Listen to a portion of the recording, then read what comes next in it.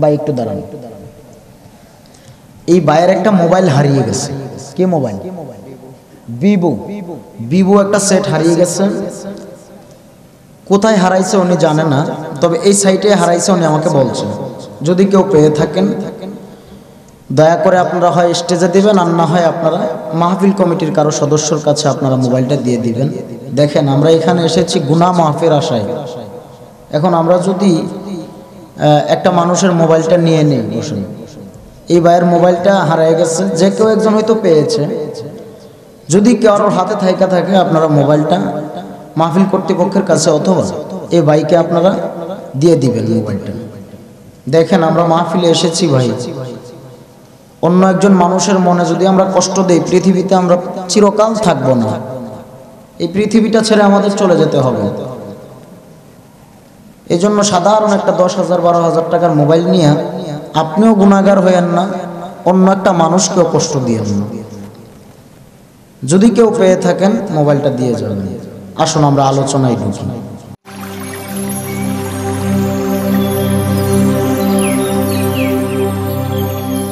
বিদেশে বিরাজে যাদের সন্তান মারা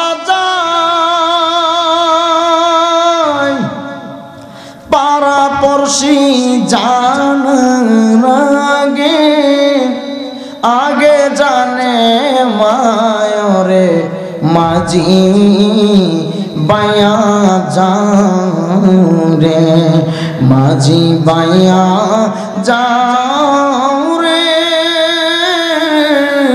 অকুল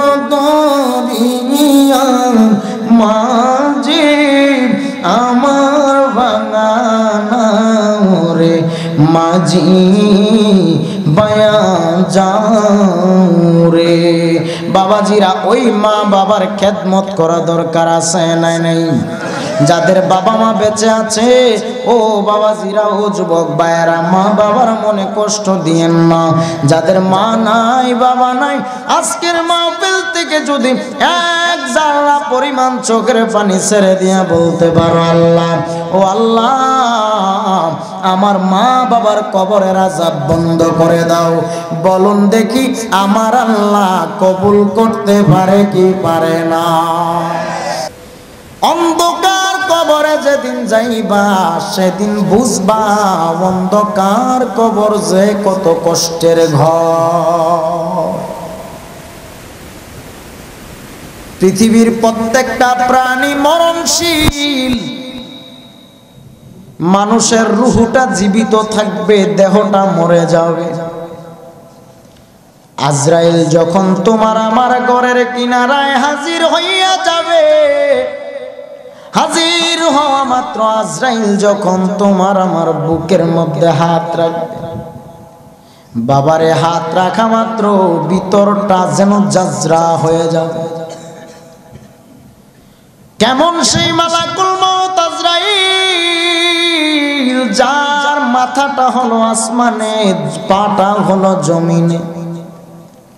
যার মাথায় সাত সমুদ্র, তেরো নদীর পানি ঢেলে দিলেও আজরাইলের মাথার চুল বেজা সম্ভব।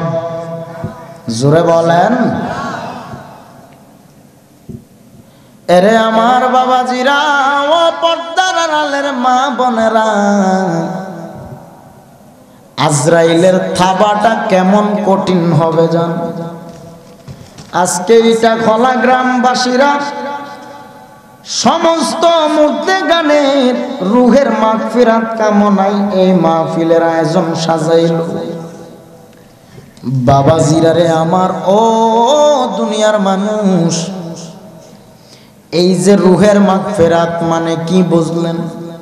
আজকে যারা অন্ধকার কবরে আছে তারা হাত বাড়াইয়া রাখছে এটা খোলার মানুষ। এখানে আমার ছেলে আছে, মেয়ে আছে, কত মানুষ। তোমরা মাহফিলে এসেছ, আর আমরা বাবা মা অন্ধকার কবরে পড়ে রইলাম। আমাদের কথা কি তোদের মনেও পড়ে না? আজকে ওই মা যারা কবরে শুয়াইয়া এই মাহফিলে বসেছো, বাবা, মনে করিও না যে তুমি চিরদিন থাকবা।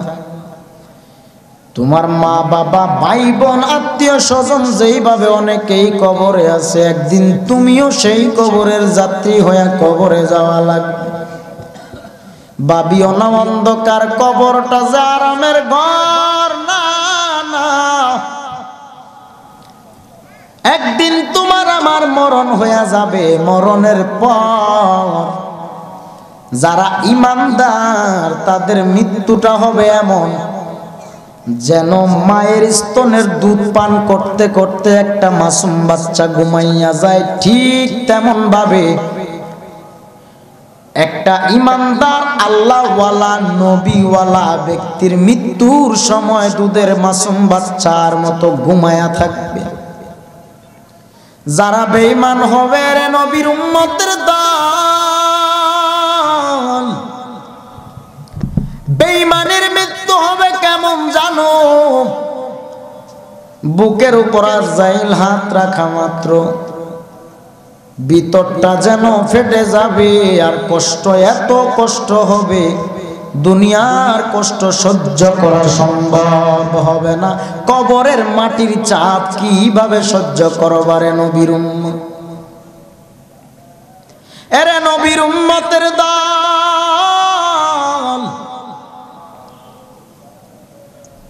যখন তোমার আমার মরণ হয়ে যাবে, ইটা খোলার মসজিদের মাইকে ইমাম সাহেব আওয়াজ দিয়ে দিবে আলাম দিয়ে দিবে। অমুক বাড়ির অমুকের সন্তান, অমুক মিয়া। আজ এতটার সময় অমুক জায়গায় ইন্তেকাল করেছে। ইন্নালিল্লার ঘণ্টা বেজে যাবে রে নবীর উম্মতের দল। আজকে বুঝি এমনও গুণা করেছ যেই গুনার কারণে দিলটা পাথরের মতো শক্ত হয়ে গেল, চোখে পানিও নাই।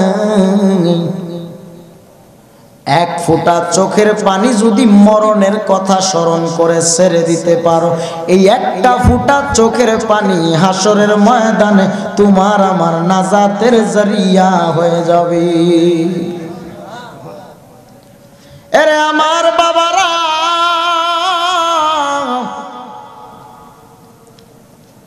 মসজিদের মাইকে জাজিম থেকে এক লক্ষ টাকার খাট থেকে নামাইয়া মাটির মধ্যে চাটাই বিছাইয়া তোমাকে শুয়াইয়া দিবে ঠান্ডার দিনে। তোমার ভিতর থেকে প্রাণ পাখিটা চলে যাওয়ার পর এমন মাটির মধ্যে চাটাই বিছাইয়া শোয়াইয়া দিবে। তুমি ভাবছ এই ঠান্ডার দিনে বুঝি আরামের বিছানায় ঘুমাইবা। এর এইটা খোলার মানুষ মরণের কথা বুঝি বলিয়া গেল। যারা বাড়ির ভিতরে আজকে ঘুমাইতে চলে এত কম্বল নিয়ে মাইকের আওয়াজ পাইতেছেন রে এখনই লাইটটা তুমি অফ করে গিয়া দেখো, বালিশের সাথে মাথাটা লাগাইয়া দেখো। গড়টা অন্ধকার হয়ে যাবে, মরণের কথা স্মরণ কর। আর একবার চিন্তা করো, অন্ধকার কবর যে কত অন্ধকার হবে। এরে নবীর উম্মতের দল শুধু অন্ধকার না, তাকাইয়া দেখো, তুমি যা ভাবতেছো, তোমার এত বন্ধু আছে, এত বান্ধব আছে। আজকে তোমার একটা সমস্যা হইলে তোমার পিছনে বন্ধুর অভাব নাই। কবরে যেদিন যাইবা, সেদিন এত বন্ধুর ভিড়ে একটা বন্ধু খুঁজে পাওয়া যাবে না। কিসের এত তাকাব্বরি করো, কিসের এত বড়াই করো, কিসের এত টাহা টাকার অহংকার করো? এই দুনিয়ার টাকা, বাড়ি, গাড়ি, পয়সা কিছুই না। অন্ধকার কবরে যেদিন যাইবা, সেদিন তোমার দুনিয়ার কোনো হিসাব চলবে না। আমার আল্লাহর পক্ষ থেকে ফেরেস তারা তিনটা প্রশ্ন করবে।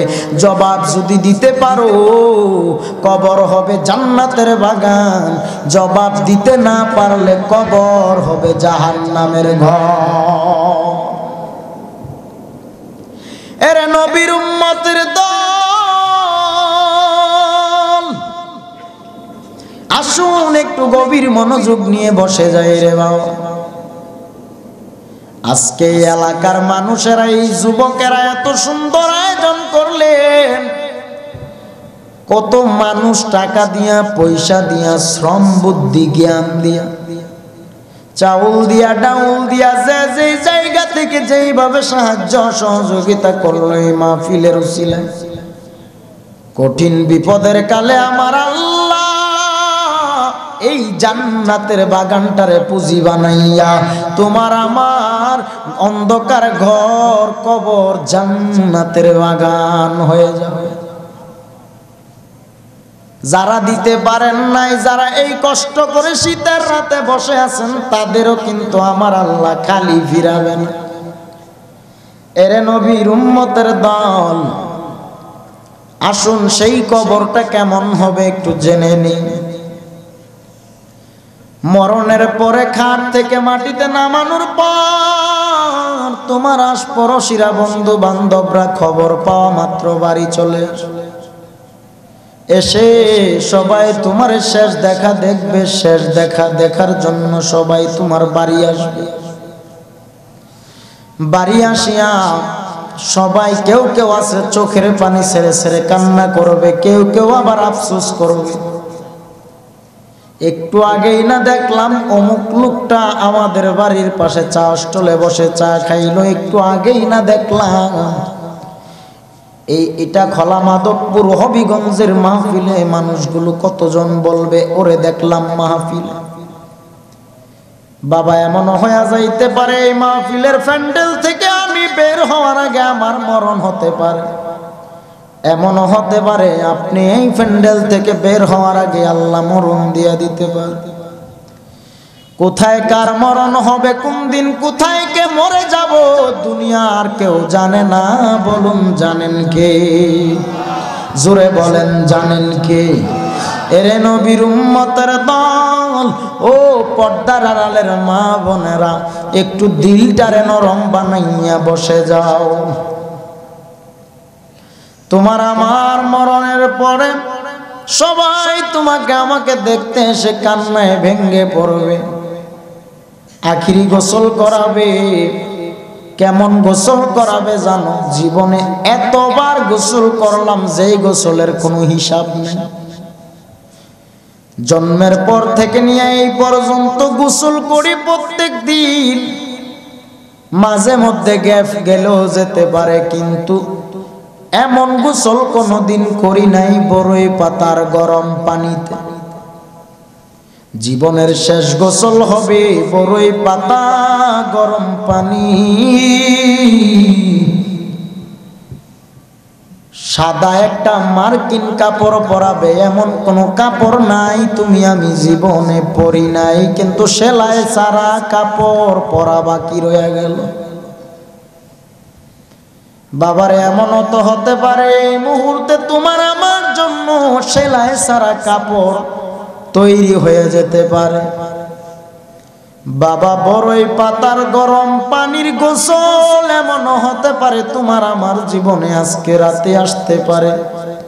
জানা নাই কে কোন দিন কোথায় মারা যাব।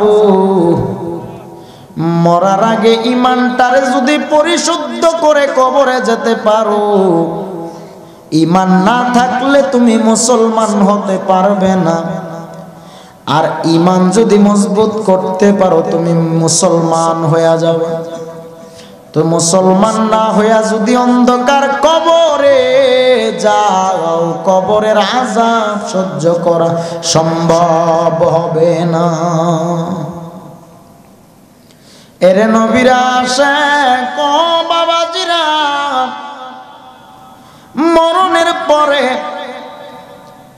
সবাই তোমারে গোসল করাইয়া সাদা কাফনের প্যাকেট বানাইয়া এমন একটা গাড়ির মধ্যে উঠাবে। জীবনে এমন কোন গাড়ি নাই, যেই গাড়িতে আপনি উঠেন নাই, আমি উঠিনি।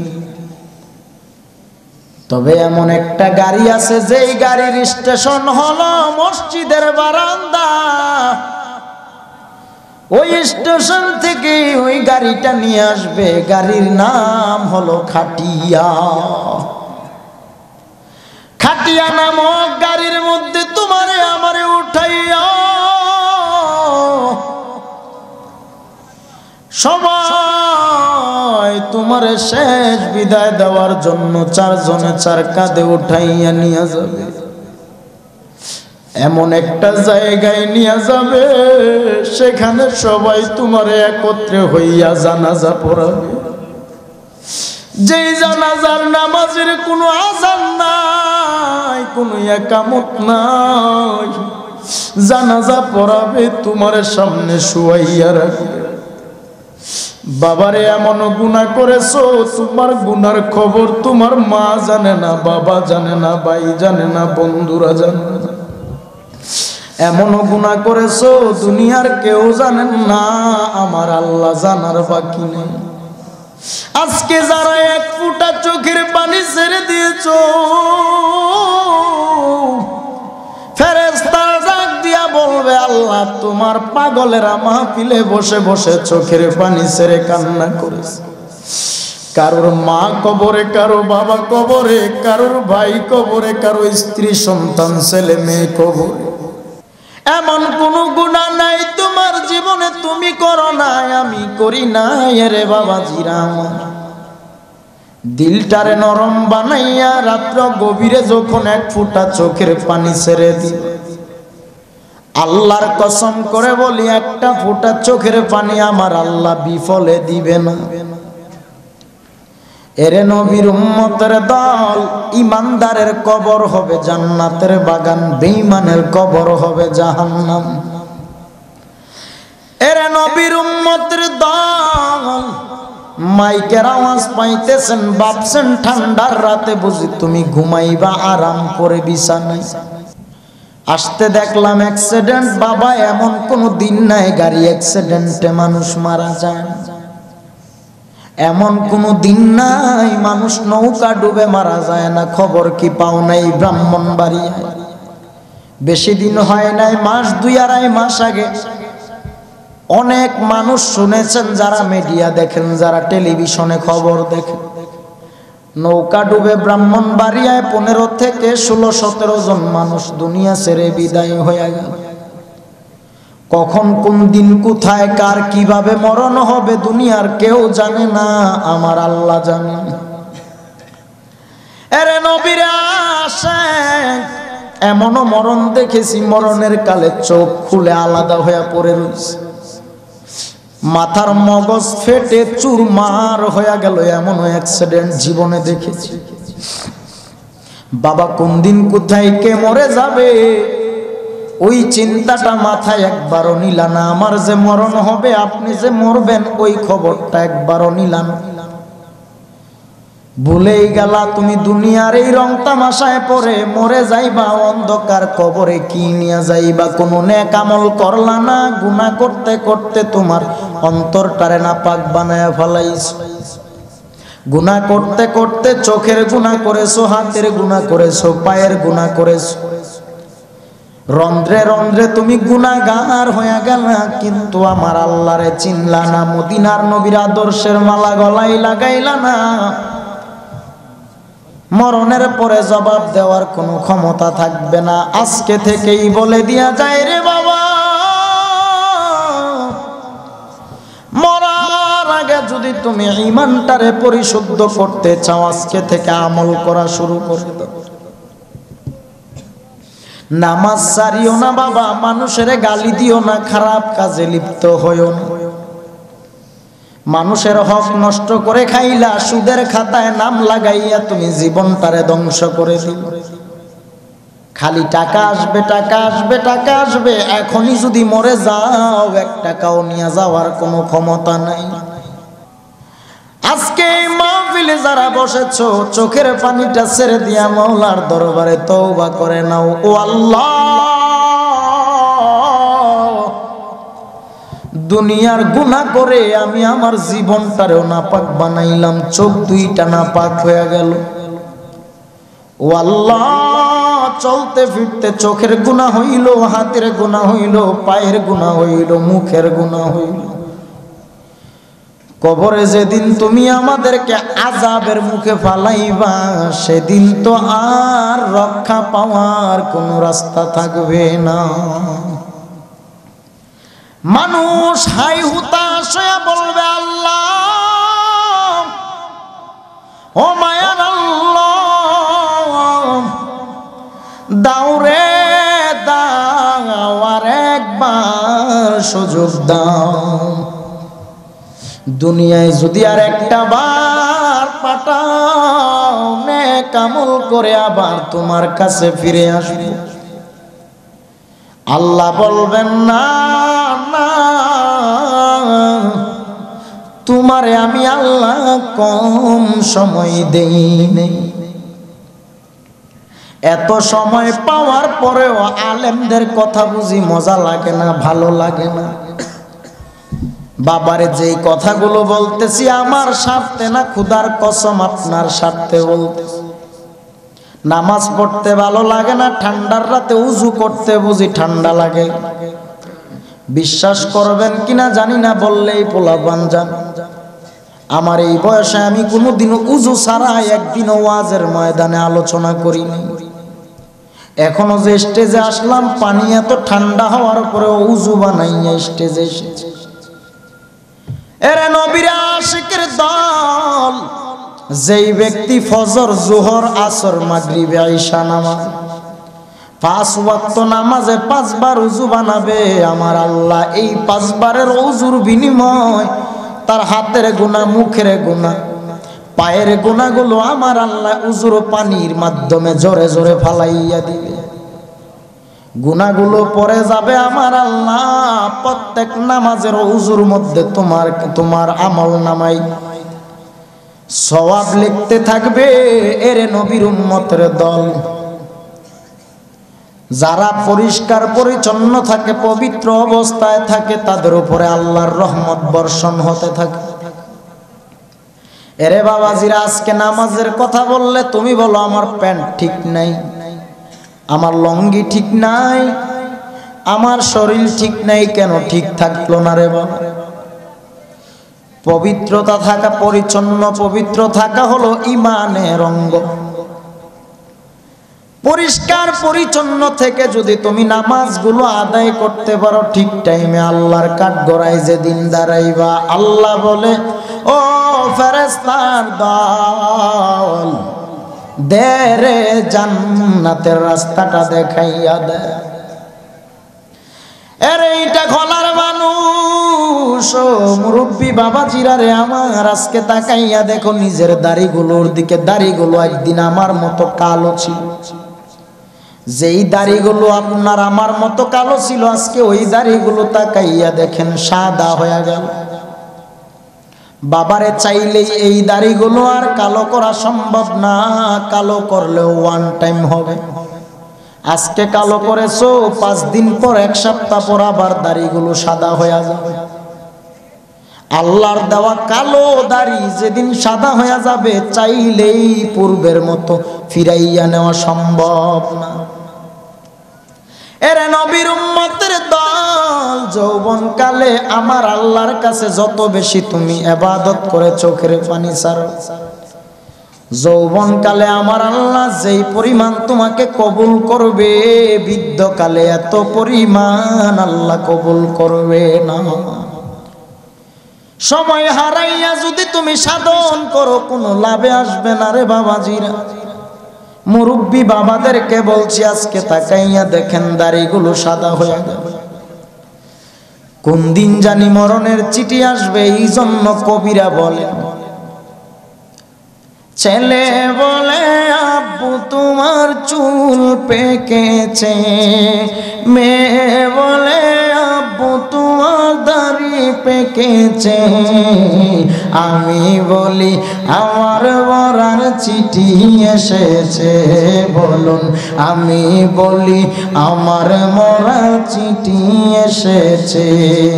কেউ জানে না কখন আমার মরণ হইবে। বলুন, কেউ জানে না কখন আমার আমি বলি, আমার মরার চিঠি এসেছে, ভাইজন। আমি বলি, আমার মরার চিঠি এসেছে। ছেলে বলে, আব্বু, তোমার চুল পেকেছে। মেয়ে তোমার দাড়ি পেকেছে। আমি বলে আমার মরার চিঠি এসেছে, বলুন আমি বলি। সব নবী পয়গাম্বরেরা ইয়া নফসি ইয়া নফসি, ইয়া বলে কাঁদবে। একটা মাত্র ব্যক্তি তার চোখের পানি নিজের চিন্তা না সেই ব্যক্তিটা হলো আমার মদিনার রহমাতুল্লিল আদম নবীর উম্মতরা আদম নবীর কাছে যাইয়া দাঁড়াবে, ও নবী, কবুল করে না আদম নবী বলবেন না, আমার হিসাব আমি দিয়া শেষ করতে পারি না, তোমাদের খবর কেমনে নিব? ঈসা নবী, ঈসা নবীর চিন্তায় থাকবে, মুসা নবী, মুসা নবীর চিন্তায় থাকবে। ইব্রাহিম খলিল তার চিন্তায় থাকবে, সব নবীরা তাদের চিন্তায় বিভোর হয়ে যাবে। আর আমার নবী রহমাতুল্লিল আলমিন সাজদায় পরে কান্নায় বিভোর হয়ে গেল। প্রত্যেকটা মানুষ উলঙ্গ অবস্থায় কেউ কারও দিকে তাকানোর কোনো সুযোগ নেই। যার যার যার যার চিন্তায় পাগল পারা হয়ে যাবে। আল্লাহ বলবেন, নবী, আপনি কেন কাঁদে চোখের পানি সেরে আমার নবী বলবে, আল্লাহ, আমার একটা গুনাগার উম্মত যদি জাহান নামে যায়, আমি নবীও জান্নাতে যাব না। এমন একজন নবী পাইলাম রে বাবা, যেই নবী শুধু দুনিয়ায় না, পরকালেও গুনাগার উম্মতের ভুলবে না।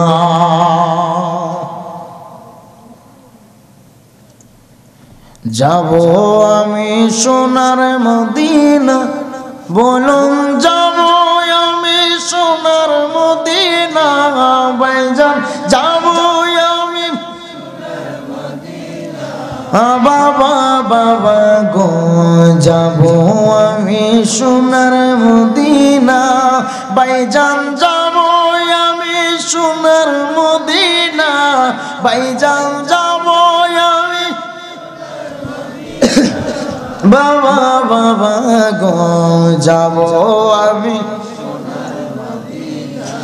মনটাই আমার অনেক খুশি, নবীজিকে ভালোবাসি। মনটাই আমার অনেক খুশি, নবীজিকে ভালোবাসি। ভালোবেসে তৃপ্তি মিটে না, নবী। ভালোবেসে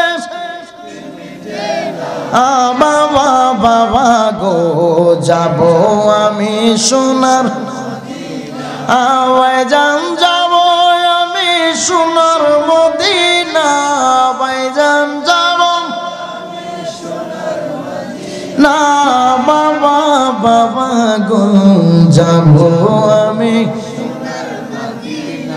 ওই মদিনা যাইতে মনটা চায় কি চায় না? যেই নবী তোমার আমার জন্য হাসরের ময়দানেও কাঁদবে, ওই নবীর বাড়ি যাওয়ার মন চায়নি। আল্লাহ প্রত্যেকের কবুল করুন, বলি আমিন। এরে বাবাজিরা হাসরের ময়দানে শেষ করে দিচ্ছে আলোচনা। হাসরের ময়দান যেদিন কায়েম হবে জাহান নাম বড় পাগল হয়ে যাবে। এত উপরে সূর্যটা সূর্যটা সেই দিন মাথার আদাত উপরে নেমে আসবে। সূর্যের তাপে মাথার মগজগুলো গলে গলে পড়ে যাবে রে বাবা। এরে নবীর উম্মতের দল, সেই দিন তুমি কি জবাব দিবা? জবাব দেওয়ার ক্ষমতা থাকবে না। যারা আমার নবীর বড় পাগল, যারা এই মাহফিলে বসে বসে চোখের পানি ছেড়েছে সেই দিন আমার আল্লাহ আমার নবীর কাছে দায়িত্বটা ছেড়ে দিবে ও নবী আপনার যেই পাগল উম্মতেরা আছে, আপনি যাদেরকে চিনেন তাদেরকে নিয়ে জান্নাতে যাবে এখন আমার নবী কাদেরকে চিনেন, সেই বিষয়টা একটু অল্প সময় বলে দিচ্ছি। দুনিয়াতে যারা নবীর পাগল, নবীর আশেক, যারা নবীর জন্য দিওয়ানা শুধু দিবানা না, যারা নবীর শূন্য সারে নাই, টুপি সারে নাই, নামাজ সারে নাই, রোজা সারে নাই। মানুষের হক নষ্ট করেছে, যারা মানুষের হক নষ্ট করে নাই, যারা হারাম হালাল বেছে খেয়েছে। যারা নবীর সাথে সম্পর্কটা ভালো রেখেছে, যারা নবীর দেখানো পথে চলেছে। তাদেরকে আমার নবী দেখে দেখে চিনবে, শুধু চিনবেই না, নবীর সাথে জান্নাতে নিয়ে যাবে। করেছে, আল্লাহ এবং তার রসুলের পথ অনুযায়ী চলাফেরা করে নাই, নামাজ পড়ে নাই, রোজা রাখে নাই। মানুষের গিবত করত, মানুষের কষ্ট দিত, হারাম খাইতো, সুদের খাতায় নাম লাগাইয়া রাখত। যারা বাবা মাকে কষ্ট দিত, যারা দুনিয়ার মায়ায় পড়ে থাকতো, সেই দিন তাদেরকে আমার আল্লাহ জাহান নামের রাস্তা দেখাইয়া দিন। যা রে যা এখন বুঝে দেখ, কবরটা যে কত অন্ধকার। আর জাহান নামের আগুন যে কত পাওয়ার। জাহান নামের আগুন গায়ে লাগা লাগবে না। জাহান নামের আগুনের তাপ লাগা মাত্র শরীরটা পুরে বর্ষ হয়ে যাবে। এত কঠিন আগুন সেদিন সহ্য করা সম্ভব হবে না। এরে নবীরা, শেখের দল, এই জন্য বলতে চাই, নবীর সাথে যদি জান্নাতে যেতে চাও, জাহান্নাম থেকে যদি বাঁচতে চাও, ওই মদিনার নবী দেখানো রাস্তায় চলো। নবীর দেখানো রাস্তায় যদি জীবনটা চালাইতে পারো, আলেমুল আমাদের সাথে যদি সম্পর্কের কালেকশনটা ভালো রাখতে পারো, আল্লাহর বলিদের সাথে যদি ভালোবাসার সম্পর্কের বন্ধনটা ঠিক রাখতে পারো, কঠিন মুসিবতের দিন আমার নবী তুমি উম্মত সারা জান্নাতে যাবে না।